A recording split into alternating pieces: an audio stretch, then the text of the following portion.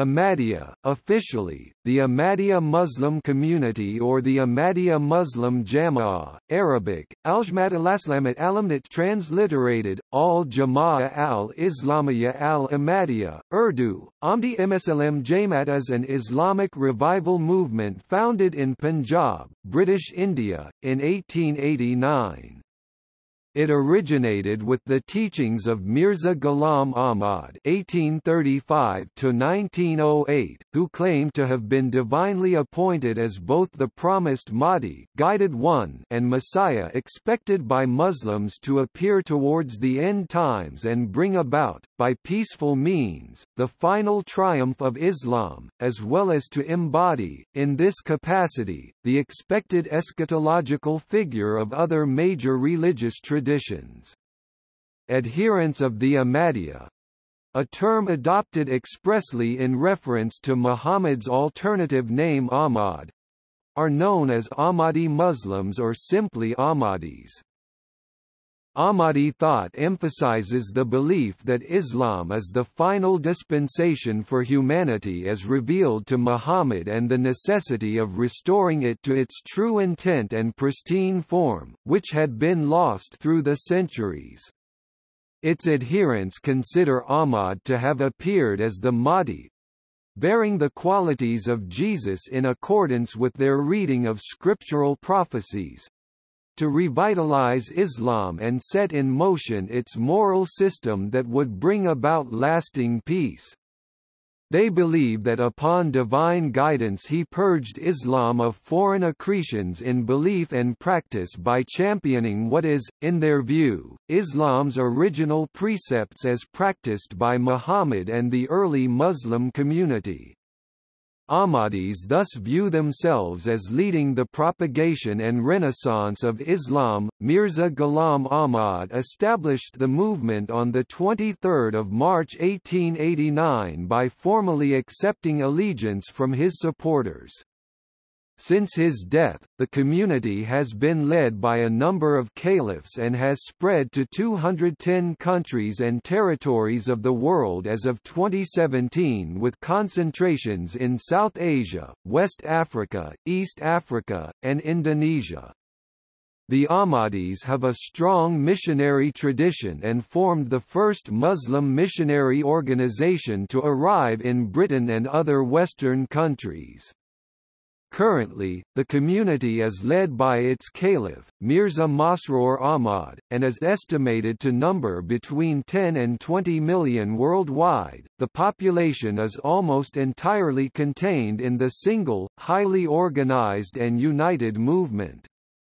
However, in the early history of the community, a number of Ahmadis broke away over the nature of Ahmad's prophetic status and succession and formed the Lahore Ahmadiyya movement for the propagation of Islam, which today represents a small fraction of all Ahmadis.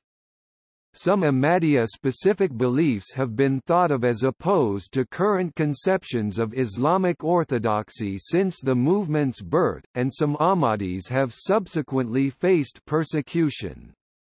Many Muslims consider Ahmadi Muslims as either kafirs or heretics.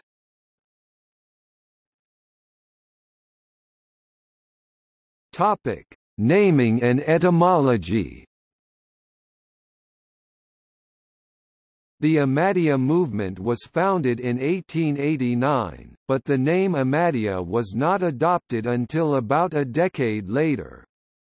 In a manifesto dated 4 November 1900, Mirza Ghulam Ahmad explained that the name did not refer to himself but to Ahmad, the alternative name of Muhammad. According to him, the meaning of the name Muhammad, the most praised one, indicated the glorious destiny and grandeur of the Islamic prophet that was manifest after the migration to Medina, but Ahmad, an Arabic elative form which means, highly praised, and also, one who praises the most, conveyed the beauty of his sermons, the peace that he was destined to establish, and the qualities of perseverance and forbearance that found particular emphasis during his earlier life at Mecca. According to Ahmad, these two names thus reflected two aspects or modalities of Islam, and in later times it was the latter aspect that commanded greater attention. Labeling a group or school in Islam after anyone or anything other than Muhammad the Prophet of Islam, he thus rejected as religious innovation bid'ah. Accordingly, in Ahmad's view, this was the reason that the Old Testament had prophesied a messenger like unto Moses, in reference to Muhammad, while according to the Quran 61-6, Jesus used the elative form Ahmad when referring to that messenger since it reflected his own disposition and circumstances. Further, his reading of Quran 48-29 was that Moses, who himself characterized power and glory, described Muhammad and those with him as unyielding against the disbelievers and tender among themselves which comported with the name Muhammad and with the early Muslims who achieved swift military successes against their oppressors, while Jesus, whose life consisted purely of preaching and involved nothing of might or fighting, describe them as like unto a seed produce that sends forth its sprout, then makes it strong, it then becomes thick and stands firm on its stem. This latter description which, according to him, comported with the name Ahmad, suggested a gradual, measured and peaceful emergence and intimated another community of Muslims, those with the promised Mahdi, the counterpart of Jesus in the latter times. In view of these exegetical rationales, he considered the term Ahmadi, in relation to the incipience of Muhammad's proclamation and in order to distinguish the movement from other Muslim groups, as most befitting for himself and the movement, the name which is appropriate for this movement and which I prefer for myself and for my Jama'ah is Muslims of the Ahmadiyya section. And it is permissible that it also be referred to as Muslims of the Ahmadi school of thought.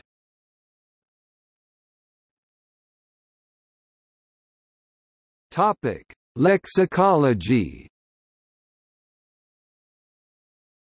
The term Ahmadiyya, formed by way of suffixation nisba from Ahmad and the suffix iyya t, comparable to the English nes, is an abstract noun used in reference to the movement itself, while the term Ahmadi adjectively denoting affiliation to Ahmad is a noun used in reference to an adherent of the movement, whether male or female.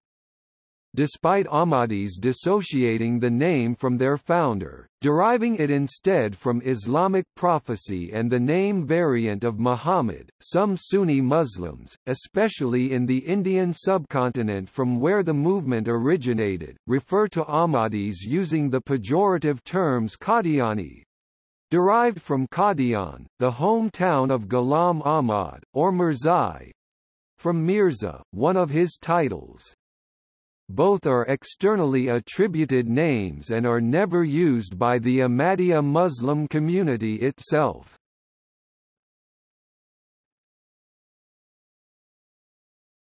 Topic: Summary of beliefs.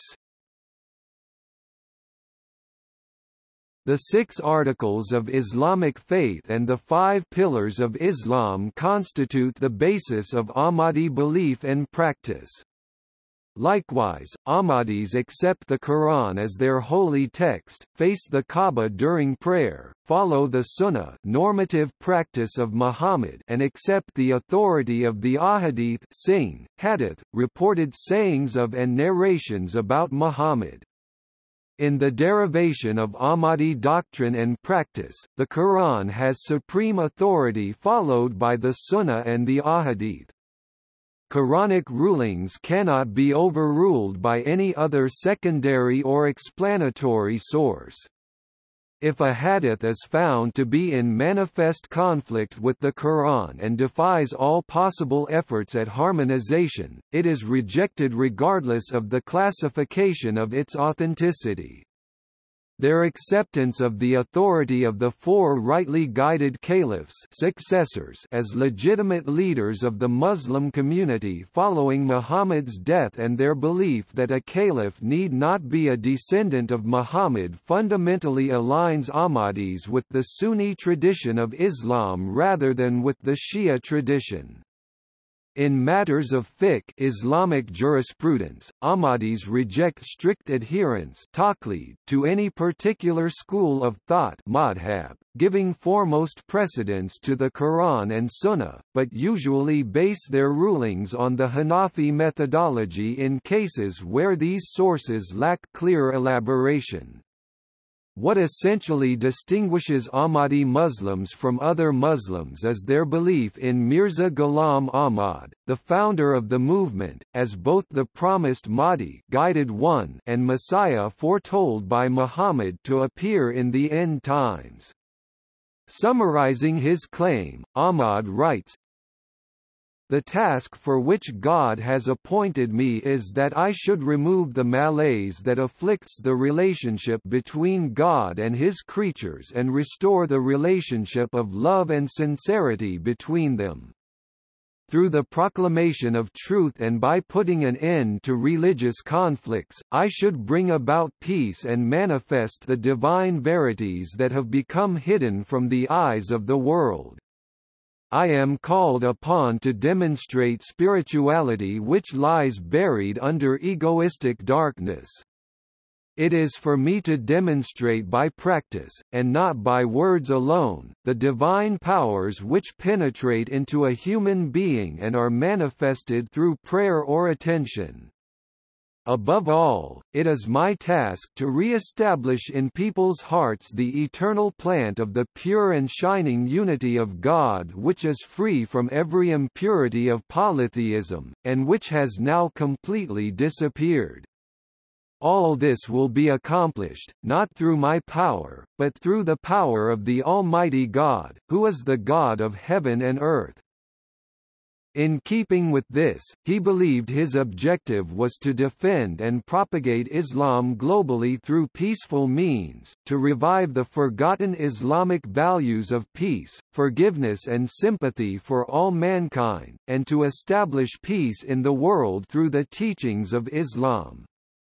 He believed that his message had special relevance for the Western world, which, he believed, had descended into materialism. Ahmadi teachings state that all the major world religions had divine origins and were part of the divine plan towards the establishment of Islam as the final religion, because it was the most complete and perfected the previous teachings of other religions but they believe that all other religions have drifted away from their original form and have been corrupted.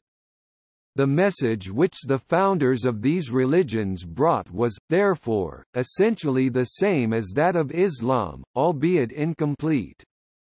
The completion and consummation of the development of religion came about with the advent of Muhammad. However, the global conveyance, recognition and eventual acceptance of his message i.e. The perfection of the manifestation of Muhammad's prophethood was destined to occur with the coming of the Mahdi. Thus, Ahmadi Muslims regard Mirza Ghulam Ahmad as that Mahdi and, by extension, the promised one of all religions fulfilling eschatological prophecies found in the scriptures of the Abrahamic religions, as well as Zoroastrianism, the Indian religions, Native American traditions and others. Ahmadi Muslims believe that Ahmad was divinely commissioned as a true reflection of Muhammad's prophethood to establish the unity of God and to remind mankind of their duties towards God and his creation. Summarizing the Islamic faith, Ahmad writes, There are only two complete parts of faith. One is to love God and the other is to love mankind to such a degree that you consider the suffering and the trials and tribulations of others as your own and that you pray for them.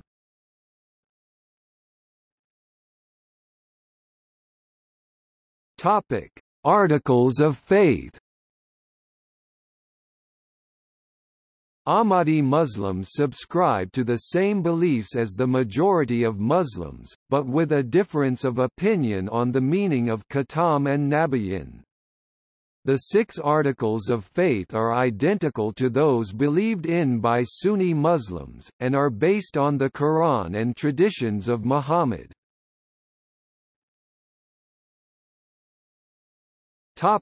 Unity of God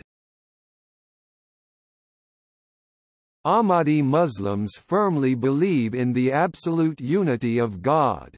Acknowledgement of this principle is the most important and the cardinal principle of Islam as interpreted by the community. All other Islamic beliefs spring from this belief. The belief in the unity of God is thought to influence a person's life in all its aspects and is believed to have much wider meaning and deeper applications.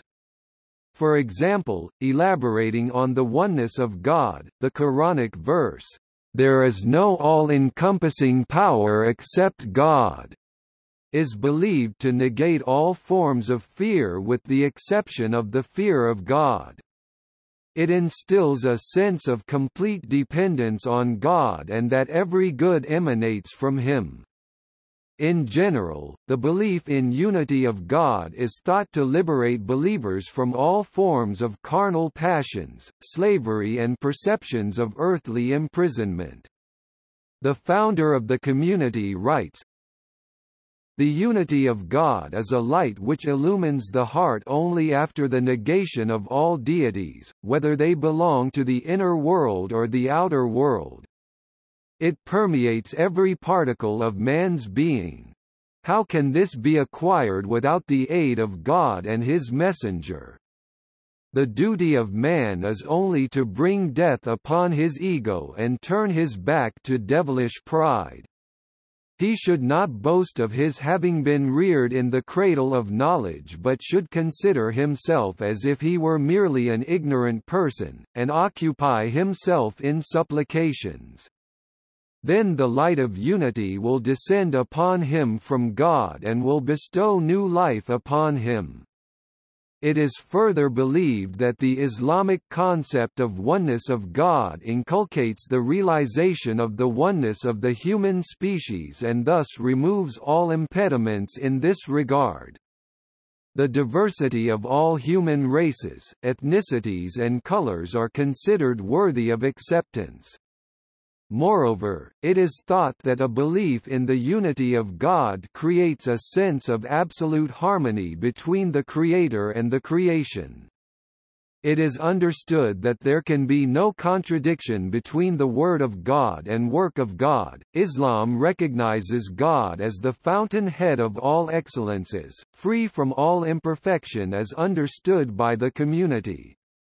God is recognized as a living God who manifests himself everywhere and listens to the prayers of his servants.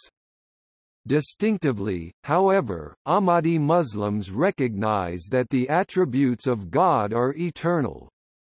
On account of this, Ahmadi teachings propound the view that God communicates with mankind as he did before.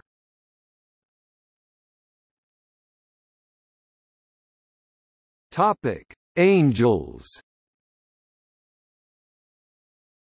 The belief in angels is fundamental to the Ahmadiyya Muslim community. They are spiritual beings created by God to obey Him and implement His commandments. Unlike human beings, angels have no free will and cannot act independently. Under God's command, they bring revelations to the prophets, bring punishment on the prophets' enemies, glorify God with his praise, and keep records of human beings' deeds. Angels are not visible to the physical eye. Yet, according to the Ahmadiyya Muslim community, they do sometimes appear to man in one form or another. This appearance, however, is not physical but a spiritual manifestation. Ahmadi Muslims regards angels as celestial beings who have their own entity as persons. The major role they play is the transmission of messages from God to human beings. According to the Quran, the entire material universe as well as the religious universe is governed by some spiritual powers, which are referred to as angels. Whatever they do is in complete submission to the will of God and the design that He created for things. According to Islam, as interpreted by Ahmadi Muslims, they cannot deviate from the set course or functions allocated to them, or from the overall plan of things made by God.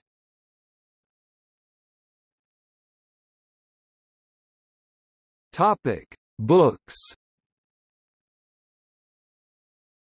For Ahmadi Muslims, the third article in Islam is concerned with the belief in all the divine scriptures as revealed by God to his prophets. This includes, the Torah, the Gospel, the Psalms, the Scrolls of Abraham, and the Quran. Before the advent of Islam, the history of religion is understood as a series of dispensations where each messenger brought teachings suitable for the time and place.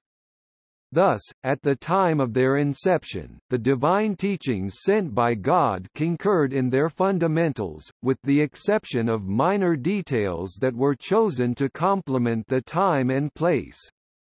With the exception of the Quran, it is believed that the divine scriptures are susceptible to human interpolation.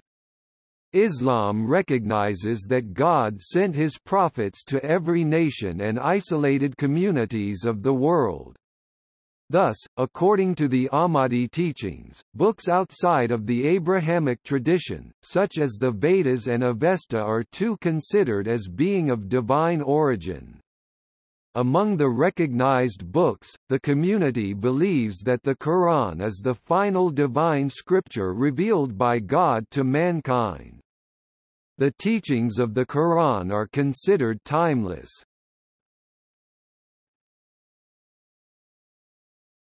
Topic: Prophets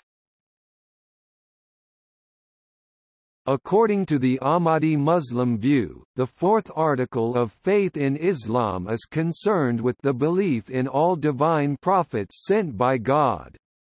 Ahmadi Muslims believe that when the world is filled with unrighteousness and immorality, or when a specific part of the world displays these attributes, or when the followers of a certain law religion become corrupt or incorporate corrupted teachings into the faith, thus making the faith obsolete or in need of a divine sustainer, then a prophet of God is sent to re-establish his divine will. Aside from the belief in all prophets in the Quran and the Old Testament, the community also regards Zoroaster, Krishna, Buddha, Confucius as prophets. According to the Ahmadiyya belief, the technical Islamic terms, warner, Nadhir, prophet, Nabi, messenger, Rasul, and envoy, Mursal are synonymous in meaning. However, there are two kinds of prophethood as understood by the community, law-bearing prophets, who bring a new law and dispensation, such as Moses given the Torah and Muhammad given the Quran, and non-law-bearing prophets, who appear within a given dispensation such as Jeremiah, Jesus and Mirza Ghulam Ahmad. Adam is regarded as the first human with whom God spoke with and revealed to him his divine will and thus the first prophet but is not regarded as the first human on earth by the Ahmadiyya Muslim community, contrary to mainstream Islamic, Jewish and Christian beliefs. This view is based on the Quran itself, according to the Ahmadiyya Muslim community. Ahmadis believe Muhammad to be the final law-bearing prophet but teach the continuity of prophethood.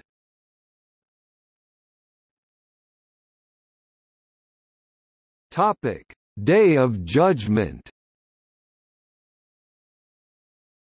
The fifth article of faith relates to the Day of Judgment. According to the Ahmadis, after belief in one God, belief in the Day of Judgment is the most emphasized doctrine mentioned in the Quran.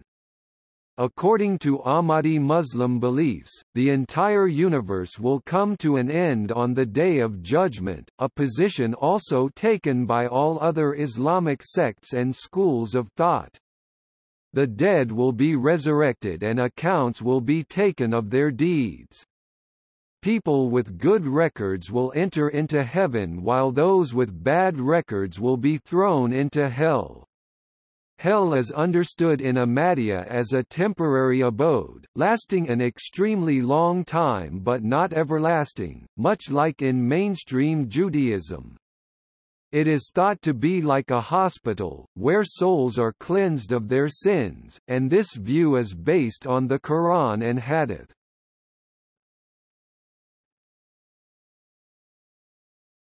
Topic: Divine decree. The Ahmadiyya Muslim community believes that divine decree controls the eventual outcome of all actions in this universe. Within the boundaries of divine decree, man is given free will to choose the course. Ahmadi Muslims believe that they will be judged on the basis of their intentions and deeds on the Day of Judgment. Ahmadis believe that science is the study of the acts of God and religion is the study of the Word of God and the two cannot possibly contradict each other.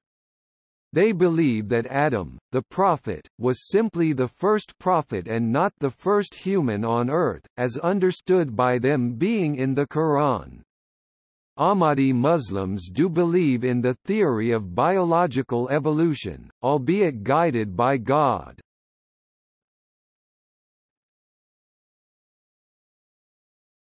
Topic: Five Pillars The Pillars of Islam Arkan al-Islam, also Arkan ad-Din, Pillars of Religion, are five basic acts in Islam, considered obligatory for all Ahmadi Muslims.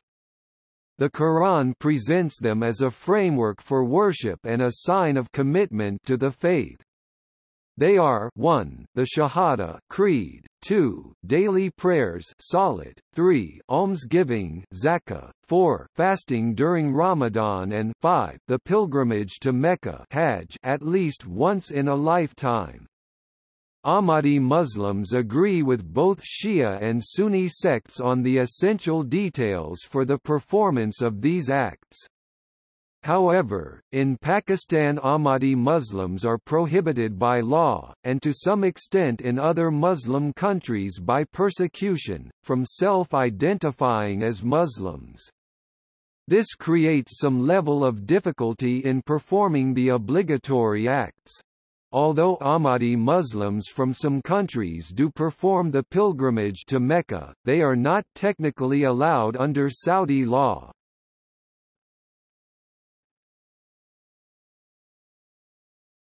Topic: Distinct teachings. Although the five pillars of Islam and the six articles of belief of Ahmadi Muslims are identical to those of mainstream Sunni Muslims and central to Ahmadi belief, distinct Ahmadiyya beliefs include the following.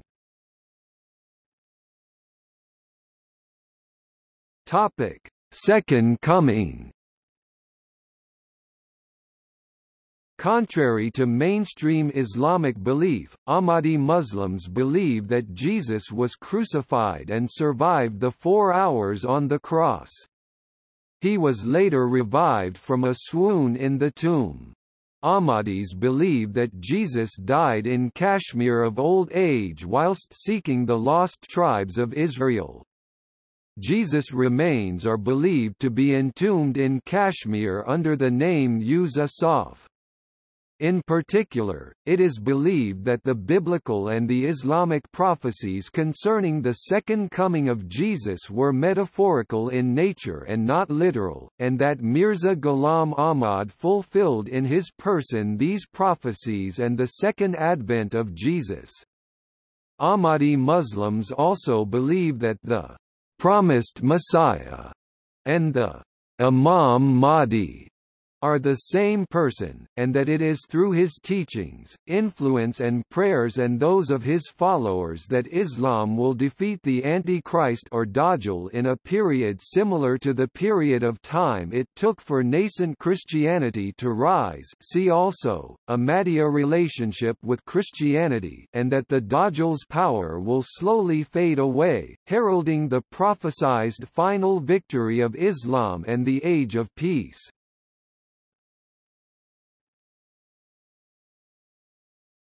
Topic: Seal of Prophets. Although Ahmadi Muslims believe that the Quran is the final message of God for mankind, they also believe that God continues to communicate with his chosen individuals in the same way he is believed to have done in the past. All of God's attributes are eternal, in particular, Ahmadi Muslims believes that Muhammad brought prophethood to perfection and was the last law-bearing prophet and the apex of humankind's spiritual evolution. New prophets can come, but they must be completely subordinate to Muhammad and will not be able to exceed him in excellence nor alter his teaching or bring any new law or religion. They are also thought of as reflections of Muhammad rather than independently made into prophets, like the prophets of antiquity.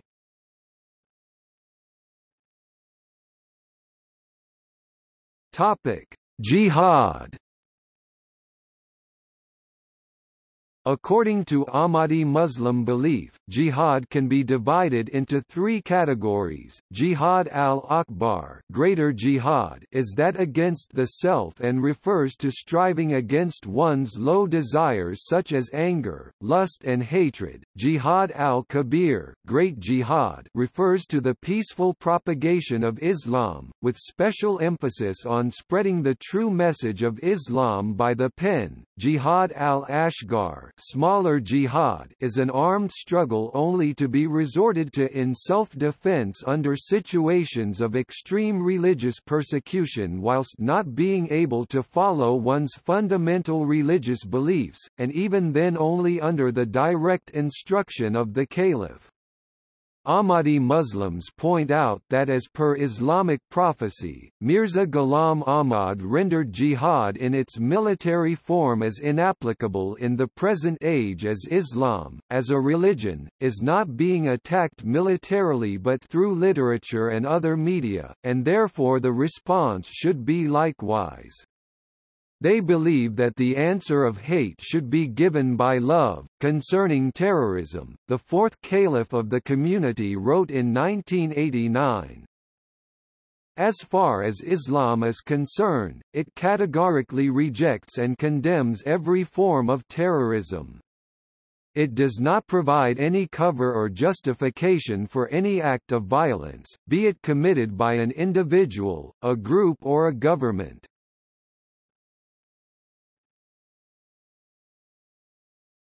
Topic: Abrogation. Unlike most scholars of other Islamic sects, Ahmadi Muslims do not believe that any verses of the Quran abrogate or cancel other verses. All Quranic verses have equal validity, in keeping with their emphasis on the unsurpassable beauty and unquestionable validity of the Quran. The harmonization of apparently incompatible rulings is resolved through their juridical deflation in Ahmadi fiqh, so that a ruling, considered to have applicability only to the specific situation for which it was revealed, is effective not because it was revealed last, but because it is most suited to the situation at hand.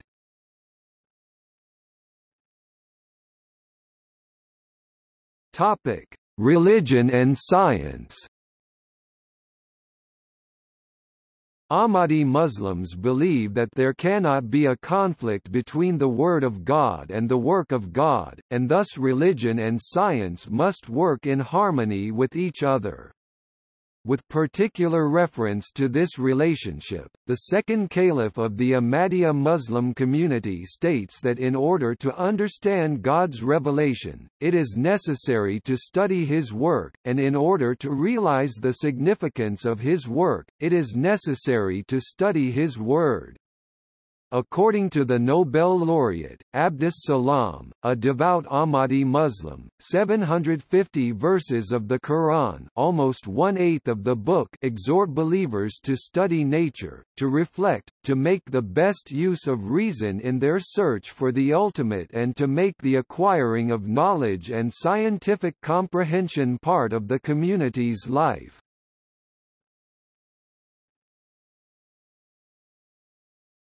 Topic: Cyclical nature of history. A final distinct beliefs is the notion that the history of religion is cyclic and is renewed every seven millennia. The present cycle from the time of the biblical Adam is split into seven epochs or ages, parallel to the seven days of the week, with periods for light and darkness.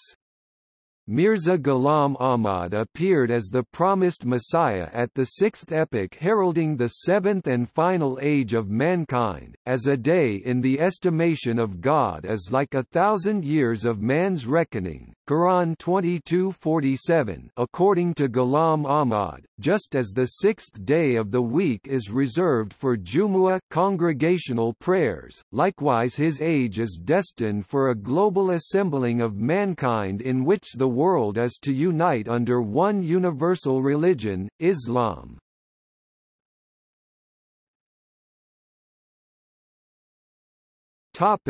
History Formally, the history of the Ahmadiyya Muslim community begins when Mirza Ghulam Ahmad took the oath of allegiance from a number of his companions at a home in Ludhiana, India, on 23 March 1889.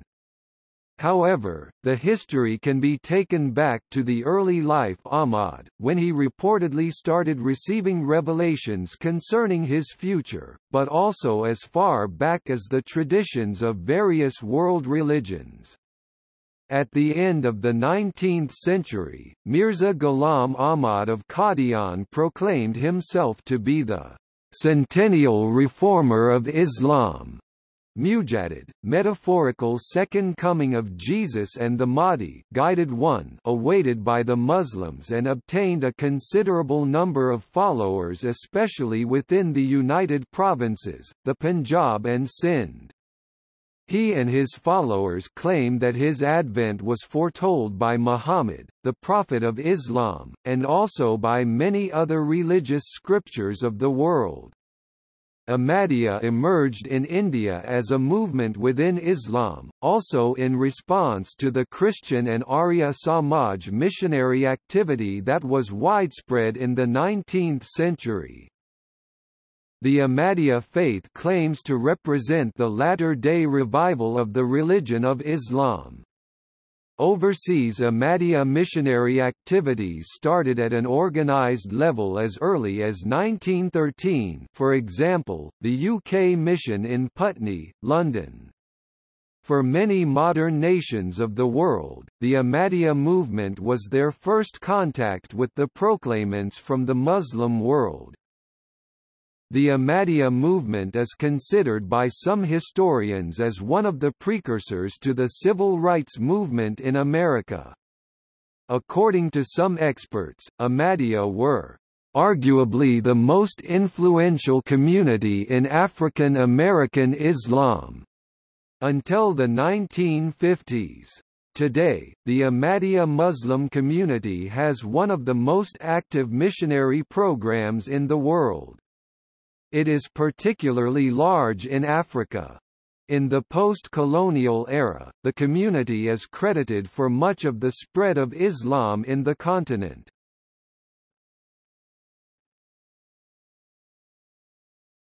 Topic: First Caliphate After the death of Mirza Ghulam Ahmad, Hakim Nur ud Din was unanimously elected as his first successor and caliph of the community. Within the stretch of his caliphate, a period which lasted six years, he oversaw a satisfactory English translation of the Quran, the establishment of the first Ahmadiyya Muslim mission in England and the introduction of various newspapers and magazines of the community. As a result of growing financial requirements of the community, he set up an official treasury. Most notably, however, he dealt with internal dissensions, when a number high-ranking office-bearers of the Ahmadiyya Council disagreed with some of the administrative concepts and the authority of the caliph.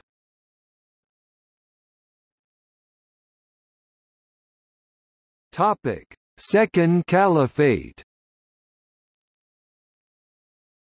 Soon after the death of the first caliph, Mirza Bashir ud Din Mahmud Ahmad was elected as the second caliph, in accordance with the will of his predecessor. However, a faction led by Maulana Muhammad Ali and Khwaja Kamal ud Din strongly opposed his succession and refused to accept him as the next caliph, which soon led to the formation of the Lahore Ahmadiyya movement. This was due to certain doctrinal differences they held with the caliph such as the nature of Mirza Ghulam Ahmad's prophethood and succession. It has also been theorized that a clash of personalities with that of the dissenters and the caliph himself, who had a relatively poor academic background, also played a role. However, the Lahore Ahmadiyya movement, which settled in Lahore, has had relatively little success and has failed to attract a sizable following. In the history of the community, this event is referred to as the split and is sometimes alluded to a prophecy of the founder. Elected at a young age, Mahmud Ahmad's caliphate spanned a period of almost 52 years. He established the organizational structure of the community and directed extensive missionary activity outside the subcontinent of India. Several weeks following his election, delegates from all over India were invited to discuss about propagation of Islam. Two decades later, Mahmud Ahmad launched a twofold scheme for the establishment of foreign missions and the moral upbringing of Ahmadi Muslims. The Tehreek-e Jadid and Waqf-e Jadid are the new scheme and the new dedication respectively, initially seen as a spiritual battle against the oppressors of the Ahmadi Muslims, called upon members of the community to dedicate their time and money for the sake of their faith. In time the scheme produced a vast amount of literature in defense of Islam in general and the Ahmadiyya beliefs in particular. The funds were also spent on the training and dispatching of Ahmadi missionaries outside the Indian subcontinent. During his time, missions were established in 46 countries, mosques were constructed in many foreign countries, and the Quran published in several major languages of the world. Although the community continued to expand in the course of succeeding caliphates, sometimes at a faster pace, the second caliph is credited for much of its inception. Ahmad wrote many written works, the most significant of which is the ten-volume commentary of the Quran.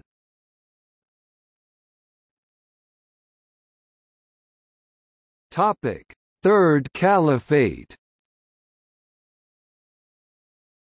Elected on 8 November 1965, Mirza Nasir Ahmad succeeded as the third caliph of the Ahmadiyya Muslim community. Started by his predecessor, he is credited with the expansion of the missionary work, particularly in Africa, and is seen as having shown great leadership and guidance to the community during the period when the National Assembly of Pakistan declared the community as a non-Muslim minority. Nusrat Jahan Scheme, a scheme dedicated to serving parts of Africa by running numerous medical clinics and schools was one of the many outcomes of his 1970 tour of West Africa, regarded as the first ever visit to the continent made by an Ahmadi caliph. During his visit for the foundation stone ceremony of the Basharat Mosque, the first mosque in modern Spain, he coined the popular Ahmadiyya motto, Love for all, hatred for none. Mirza Nasir Ahmad established the Fazl-e Umar Foundation in honor of his predecessor, oversaw the compilations of dialogues and sayings of the founder of the community, Mirza Ghulam Ahmad, and also directed the complete collection of the dreams, visions and verbal revelations claimed to have been received by the founder. Topic Fourth Caliphate Mirza Tahir Ahmad was elected as the fourth caliph of the Ahmadiyya Muslim community on 10 June 1982, a day after the death of his predecessor following the Ordinance XX that was promulgated by the government of Pakistan in 1984, which rendered the caliph unable to perform his duties and put the very institution in jeopardy. Ahmad left Pakistan and migrated to London, England, moving the headquarters of the community to Fazl Mosque, the first mosque in London. For Ahmadi Muslims, the migration marked a new era in the history of the community. Ahmad launched the first Muslim satellite television network, Muslim Television Ahmadiyya, instituted the Waqf-e Nau scheme, a program to dedicate Ahmadi Muslim children for the services of the community, and inaugurated various funds for humanitarian causes such as the Maryam Shadi Fund, the Syedna Bilal Fund, for victims of persecution, and the disaster relief charity Humanity First, to the community Ahmad is noted for his regular question and answer sessions he held in multiple languages with people of various faiths, professions and cultural backgrounds. However, Ahmad also wrote many books, the most significant of which include Islam's response to contemporary issues, Murder in the Name of Allah, Absolute Justice, Kindness and Kinship, Gulf Crisis and the New World Order and his magnum opus Revelation, Rationality, Knowledge and Truth.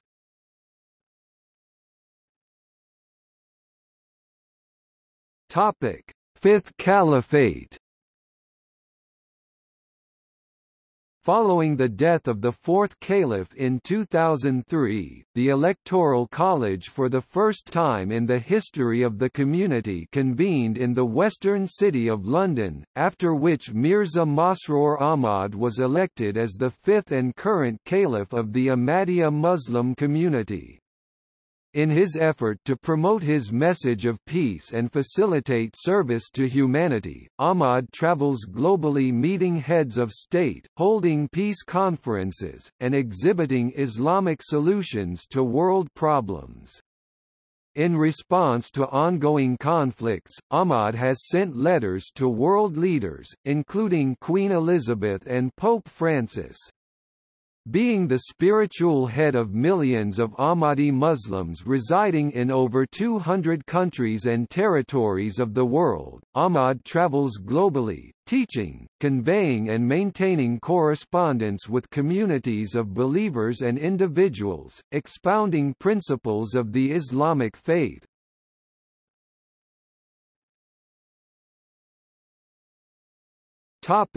Demographics As of 2016 the community has been established in 209 countries and territories of the world with concentrations in South Asia, West Africa, East Africa, and Indonesia. The community is a minority Muslim sect in almost every country of the world. In some countries like Pakistan, it is practically illegal to be an Ahmadi Muslim. Together, these factors make it difficult to estimate the Ahmadiyya population for both the community itself as well as independent organizations. For this reason, the community gives a figure of tens of millions. However, most independent sources variously estimate the population to be at least 10 to 20 million worldwide, thereby representing around 1% of the world's Muslim population. In 2001, the World Christian Encyclopedia, estimated that the Ahmadiyya movement was the fastest growing sect within Islam. It is estimated that the country with the largest Ahmadiyya population is Pakistan, with an estimated 4 million Ahmadi Muslims. The population is almost entirely contained in the single, organized and united movement, headed by the Caliph. The other is the Lahore Ahmadiyya movement, which represents less than 0.2% of the total Ahmadiyya population. Ahmadiyya are estimated to be from 60,000 to 1 million in India.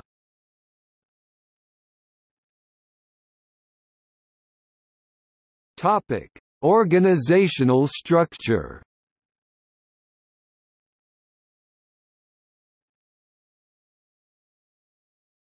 Topic: The Caliph. Ahmadi Muslims believe that the Ahmadiyya Caliphate is the resumption of the rightly guided caliphate. This is believed to have been re-established with the appearance of Mirza Ghulam Ahmad whom Ahmadis believe was the promised Messiah and Mahdi. Ahmadi Muslims maintain that in accordance with Quranic verses such as Quran 24:55 and numerous hadith on the issue, Khilafah or the Caliphate can only be established by God himself and is a divine blessing given to those who believe and work righteousness and uphold the unity of God.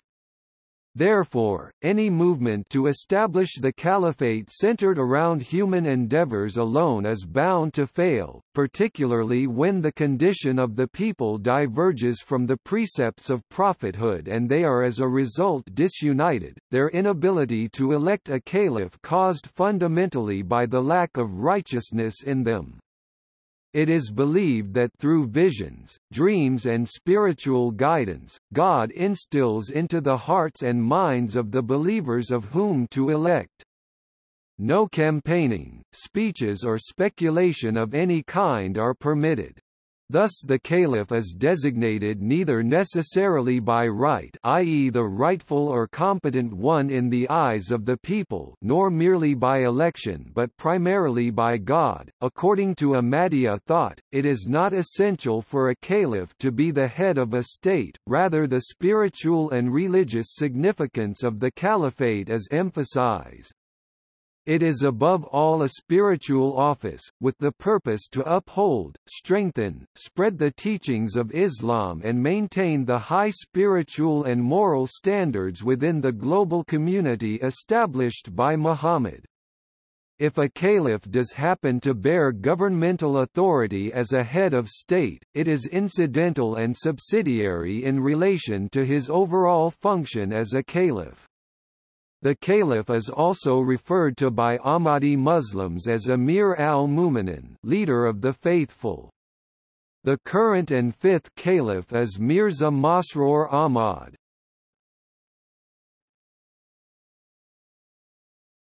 The Consultative Council The Majlis ash-Shura or the Consultative Council, in terms of importance, is the highest-ranking institution within the community after the Caliphate. It was established in 1922 by the second caliph, Mirza Bashir ud Din Mahmud Ahmad. This advisory body meets formally at least once a year. At the international level, the council is presided over by the caliph. Its main purpose is to advise the caliph on important matters such as finance, projects, education and other issues relating to members of the community. It is required for the caliph to carry out his duties through consultation, taking into consideration the views of the members of the council. However, it is not incumbent upon him to always accept the views and recommendations of the members. The caliph may comment, issue instructions, announce his decisions on the proposals during the course of the proceedings or may postpone the matter under further reflection. However, in most cases the caliph accepts the advice given by the majority. At the national level, the council is presided over by the emir national president. At the conclusion of the proceedings, the recommendations are sent to the caliph for approval which he may accept, reject or partially accept.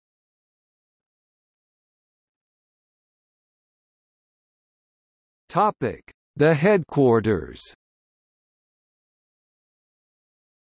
The principal headquarters of the Ahmadiyya Muslim community is the city, town or place where the caliph resides. As such, since the forced exile of the fourth caliph from Pakistan in 1984, the official headquarters of the community has been based in London, England. Although the Islamic holy cities of Mecca and Medina are acknowledged to be more sacred, Qadian is considered to be the spiritual headquarters of the community. It is believed, and prophesied, that in the future, the Ahmadiyya Caliphate will once again return to Qadian, the birthplace of Mirza Ghulam Ahmad. However, the Ahmadiyya city of Rabwah in Pakistan, since its founding on 20 September 1948 by the second caliph, after the Indian partition, coordinates majority of the organization's activity around the world.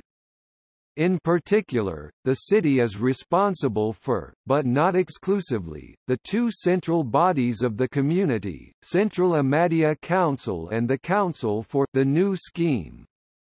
Another, but much smaller body, the Council for New Dedication, is also active. All central bodies work under the directive of the Caliph. Sadr Anjuman Ahmadiyya or the Central Ahmadiyya Council, first set up by Mirza Ghulam Ahmad in 1906, is today responsible for organizing the community activities in India, Pakistan and Bangladesh, whereas the Anjuman Tehreek-i Jadid or the Council for the New Scheme, first set up by the second caliph, is responsible for missions outside the Indian subcontinent. Each council is further divided into further directorates, such as the Department of Financial Affairs, the Department of Publications, the Department of Education, the Department of External Affairs, and the Department of Foreign Missions among others. Under the latter council, the community has built over 15,000 mosques, over 500 schools, over 30 hospitals and translated the Quran into over 70 languages. The Anjuman Waqf-i Jadid or the Council for the New Dedication, also initiated by the Second Caliph, is responsible for training and coordinating religious teachers in rural communities around the world.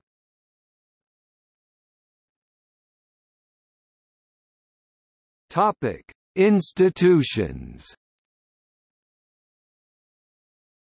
Of all religious institutions of the Ahmadiyya Muslim community, Jamia al-Ahmadiyya, sometimes translated as Ahmadiyya University of Theology and Languages, is particularly notable. It is an international Islamic seminary and educational institute with several campuses throughout Africa, Asia, Europe, and North America.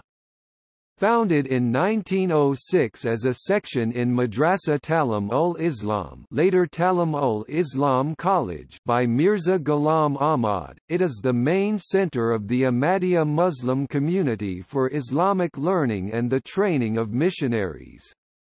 Graduates may be appointed by the caliph either as missionaries of the community often called murabbi, imam, or maulana or as qadis or muftis of the community with a specialization in matters of fiqh Islamic jurisprudence.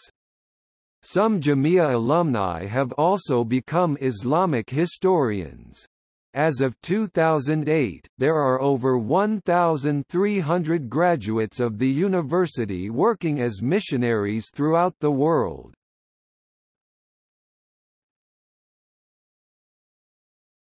Topic: Auxiliary organizations. There are five organizations auxiliary to the Ahmadiyya Muslim community. Each organization is responsible for the spiritual and moral training of their members. The Lajna Imamiyya is the largest of all the organizations and consists of female members above the age of 15. Majlis Khuddamul Ahmadiyya is for male members between the ages of 15 and 40. Majlis Ansarullah is for male members above the age of 40. Nasiratul Ahmadiyya is for girls between the ages of 7 and 15, and Atfalul Ahmadiyya is for boys between the ages of 7 and 15.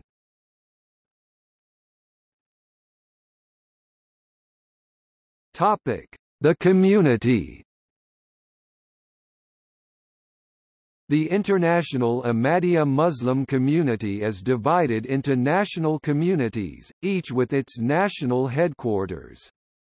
Each national community is further divided into regional communities, which is again partitioned into local communities. In many cases, each local community will have its own mosque, center or a mission house.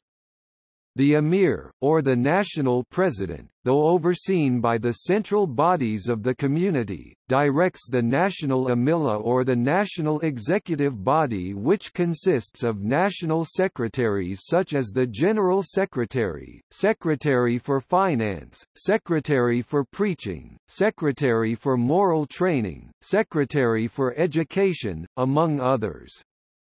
This layout is replicated at regional and local levels with each of their own president and executive bodies.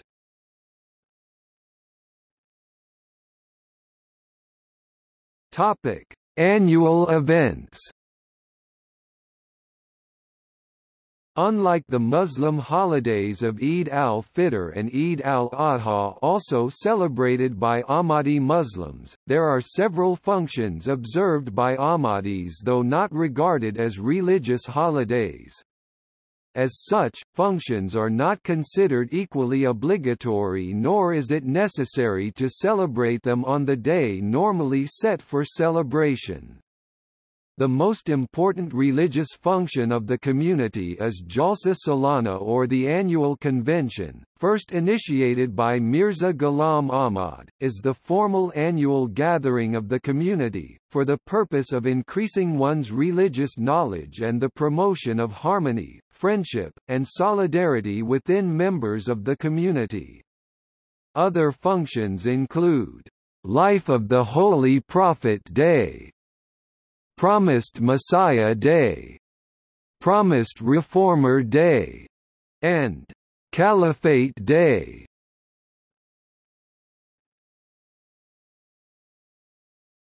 Topic: Persecution. Ahmadis have been subject to religious persecution and discrimination since the movement's inception in 1889. The Ahmadis are active translators of the Quran and proselytizers for the faith. Converts to Islam in many parts of the world first discover Islam through the Ahmadis. However, in many Islamic countries the Ahmadis have been defined as heretics and non-Muslim and subjected to attacks and often systematic oppression.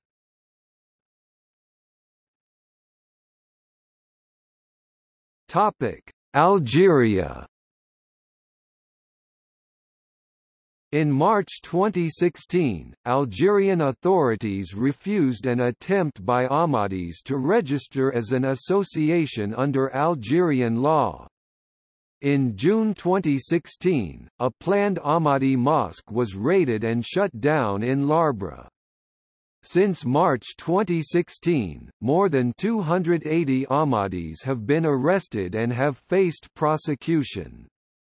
Algerian officials have publicly called Ahmadis heretics and a threat to Algeria. In June 2016, the Minister of Religious Affairs and Endowments, Mohamed Aissa, described Ahmadi presence in Algeria as part of a prepared sectarian invasion. In February 2017, he stated that Ahmadis are not Muslim in April 2017, Ahmed Ouyahia, President Abdelaziz Bouteflika's chief of cabinet called on Algerians to preserve the country from the Shia and Ahmadiyya sects.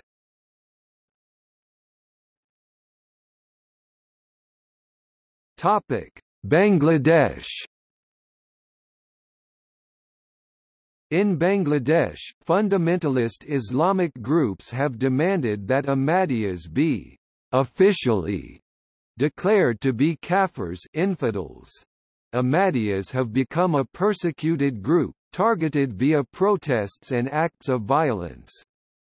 According to Amnesty International, followers have been subject to house arrest, and several have been killed. In late 2003, several large violent marches, led by Maulana Mohammad Hossein Mumtazi, were directed to occupy an Ahmadiyya mosque. In 2004, all Ahmadiyya publications were banned.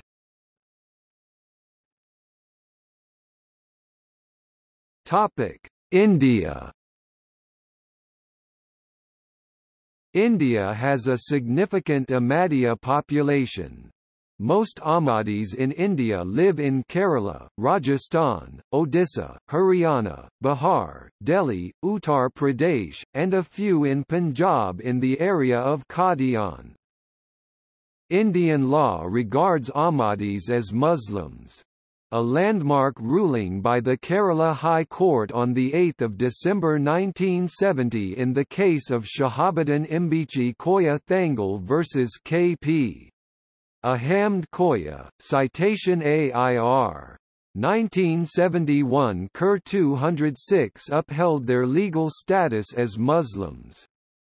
In this case, the court ruled that Ahmadis are Muslims and that they cannot be declared apostates by other Muslim sects because they hold true to the two fundamental beliefs of Islam, that there is no God but Allah and that Muhammad was a servant and messenger of God. There are hence no legal restrictions on the religious activities of Ahmadis in India and Ahmadis are free to practice their religion and call themselves Muslims. However, there is some discrimination against Ahmadis in India from fellow Muslims of other sects. Specifically, the Islamic University of India and Darul Uloom Deoband have declared Ahmadis to be non-Muslims. Ahmadis are also not permitted by Muslim leaders of the other sects to sit on the All India Muslim Personal Law Board, an independent body of Islamic religious leaders that the Indian government recognizes as representatives of Indian Muslims. In February 2012, the Andhra Pradesh WAKF board took a series of unprecedented decisions and asked the qazis in the state not to perform nikah for those belonging to a Ahmadiyya community.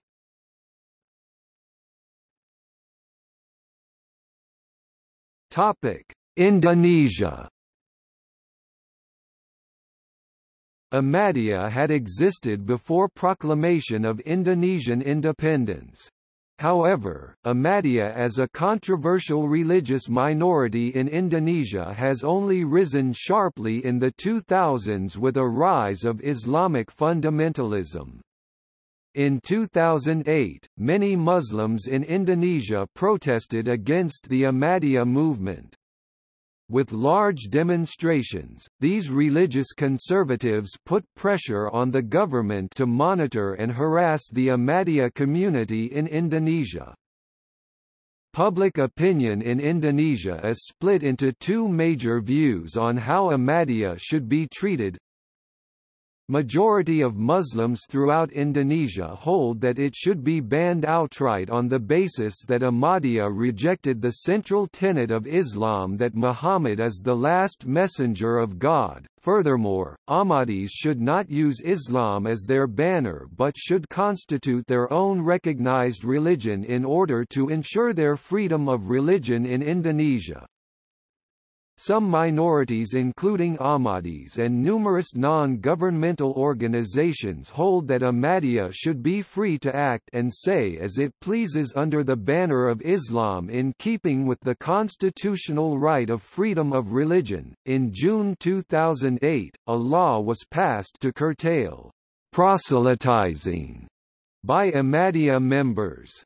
An Ahmadiyya mosque was burned. Human rights groups objected to the restrictions on religious freedom. On 6 February 2011 some Ahmadiyya members were killed at Pandeglang, Banten province. In the past few years there has been an increase in attacks on religious freedom, including incidents of physical abuse, preventing groups from performing prayers, and burning their mosques. Data from the Setara Institute for Democracy and Peace show 17, 18, and 64 incidents for the years 2008, 2009 and 2010 respectively. Although the data cover persecution of all religions, the recent persecution of Ahmadis is significant and severe, followed by persecution of Christians and persecution of other Islamic sects who claim to be genuine, pure, fundamentalist Muslims. As of 2011, the sect faces widespread calls for a total ban in Indonesia. On 6 February 2011, hundreds of mainstream Muslims surrounded an Ahmadiyya household and beat three people to death. Footage of the bludgeoning of their naked bodies, while policemen looked on, was posted on the Internet and subsequently broadcast on international media.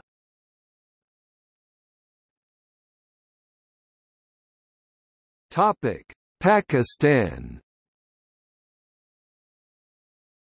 Approximately 2 to 5 million Ahmadis live in Pakistan, which has the largest population of Ahmadis in the world.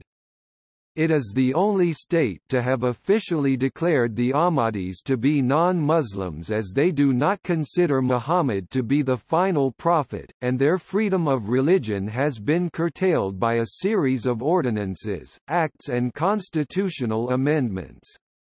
In 1974, Pakistan's parliament adopted a law declaring Ahmadis to be non-Muslims. The country's constitution was amended to define a Muslim as a person who believes in the finality of the Prophet Muhammad. In 1984, General Zia-ul-Haq, the then military ruler of Pakistan, issued Ordinance XX, the ordinance, which was supposed to prevent anti-Islamic activities, forbids Ahmadis to call themselves Muslim or to pose as Muslims. This means that they are not allowed to profess the Islamic creed publicly or call their places of worship mosques. Although a derogatory religious slur, the terms Qadiani, Qadianism, Mirzai, and Mirzayan are widely used in Pakistan to refer to Ahmadis and Qadiani is also the term used by the government in its constitution. Ahmadis in Pakistan are also barred by law from worshipping in non-Ahmadi mosques or public prayer rooms, performing the Muslim call to prayer, using the traditional Islamic greeting in public, publicly quoting from the Quran, preaching in public, seeking converts, or producing, publishing, and disseminating their religious materials. These acts are punishable by imprisonment of up to three years. In applying for a passport or a national ID card, all Pakistanis are required to sign an oath declaring Mirza Ghulam Ahmad to be an impostor prophet and all Ahmadis to be non-Muslims. The word, Muslim was erased from the gravestone of the Nobel Prize-winning theoretical physicist Abdus Salam, because he was an Ahmadi, as a result of the cultural implications of the laws and constitutional amendments regarding Ahmadis in Pakistan. Persecution and hate-related incidents are constantly reported from different parts of the country. Ahmadis have been the target of many attacks led by various religious groups. All religious seminaries and madrasas in Pakistan belonging to different sects of Islam have prescribed essential reading materials specifically targeted at refuting Ahmadiyya beliefs. In a 2005 survey in Pakistan, pupils in private schools of Pakistan expressed their opinions on religious tolerance in the country. The figures assembled in the study reflect that even in the educated classes of Pakistan, Ahmadis are considered to be the least deserving minority in terms of equal opportunities and civil rights. In the same study, the teachers in these elite schools showed an even lower amount of tolerance towards Ahmadis than their pupils. Ahmadis are harassed by certain schools, universities and teachers in Pakistan's Punjab province. The harassment includes social boycott, expulsions, threats and violence against Ahmadi students by extremist students, teachers and principals of the majority sect. 28 May 2010 saw the worst single incident of violence against Ahmadis to date see May 2010 attacks on Ahmadi mosques in Lahore, when several members of an extremist religious group allegedly Tehrik-i-Taliban Punjab Punjab entered two Ahmadi mosques in Lahore and opened fire, three of them later detonated themselves.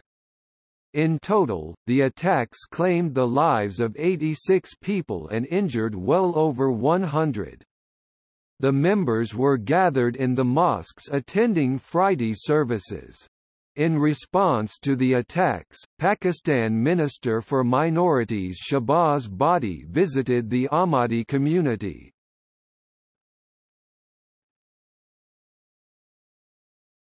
Topic: Palestine. Ahmadis were reported to be persecuted in the Palestinian Authority-controlled areas in 2010. In 2010, Muhammad Sharif Odeh, head of the Ahmadi community in Israel, told Arutz Sheva Radio that the Palestinian Authority is encouraging the cold-blooded murder of Ahmadis by failing to take concrete action to protect the community.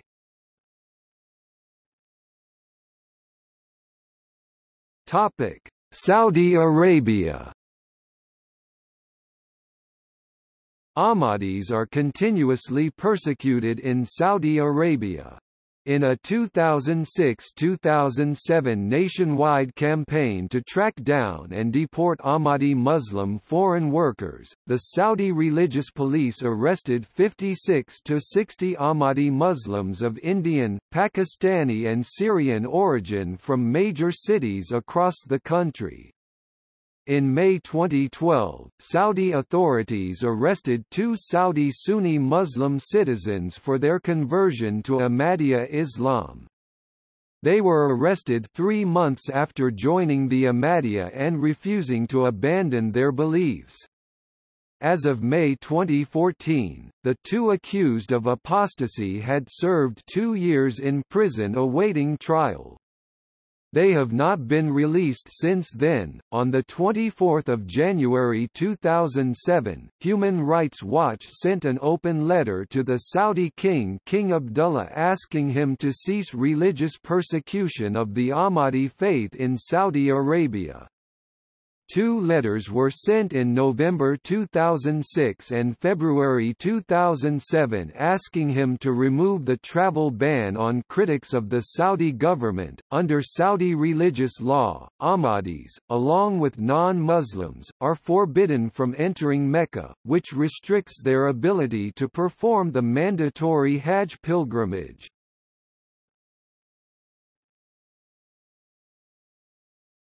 Topic United Kingdom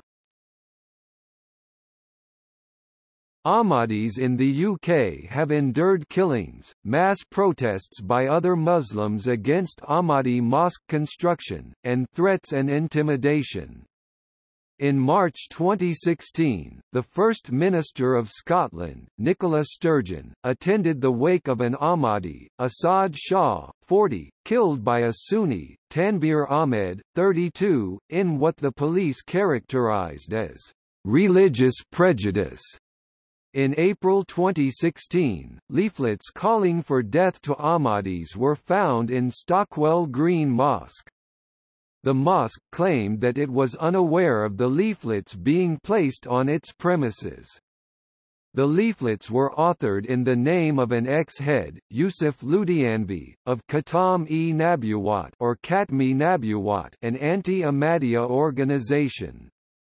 The organization is fully known as Almi Majlis-e Tahafuz Khatmi Nubuat or the International Committee for the Protection of the Finality of Prophethood. In October 2017, BBC Radio 4's File on 4 program investigated the publication and broadcasting of anti-Ahmadiyya material in the UK, and asked when and whether media regulators should intervene.